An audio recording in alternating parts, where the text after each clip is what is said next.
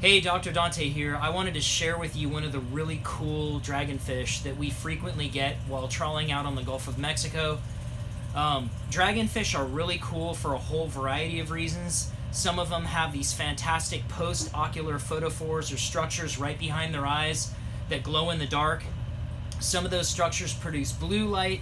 Some of them uh, probably produce red or orange light or violet light uh, that, that may be used to uh, illuminate uh, hot colored uh, in hot colors in, in, in other words yellow orange or red hot color prey items.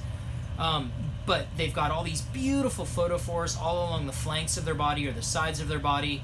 Probably the arrangement of those photophores help uh, a species decipher male from female down in the dark depths the one we got today is called a threadfin dragonfish or Echiostoma barbatum.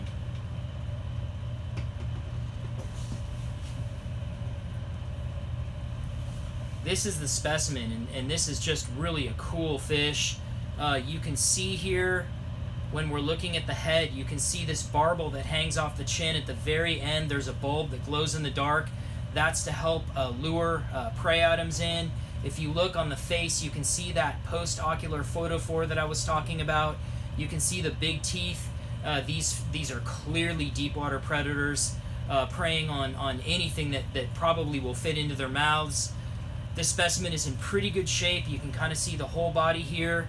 Again, they've got this great arrangement of photophores all along their sides, and that arrangement probably helps uh, males decipher males from females and females to decipher males from females.